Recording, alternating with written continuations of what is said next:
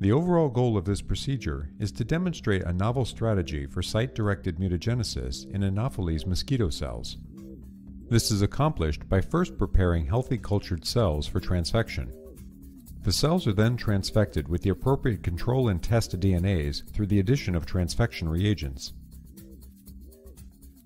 The next step of the procedure is to monitor the control cells for fluorescence and to reduce the density of the experimental cells. Finally, the gene conversion frequencies can be determined in the experimental cells using flow cytometry at 5 to 7 days post-transfection. Ultimately, results can be obtained that show site-directed mutagenesis of an episomal gene target through locked nucleic acid oligonucleotide-induced DNA repair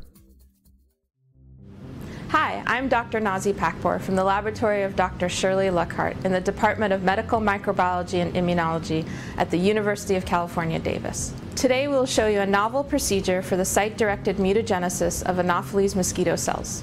We use this procedure to study the function of mosquito innate immune response genes through site-directed mutagenesis. So let's get started.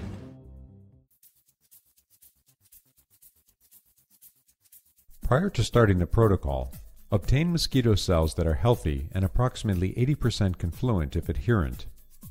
Overgrown or unhealthy cells will result in low transfection efficiency and will give inconsistent results. This protocol is demonstrated with Anopheles gambiae SUA5B cells. However, Anopheles stephensi MSQ43 cells can also be used.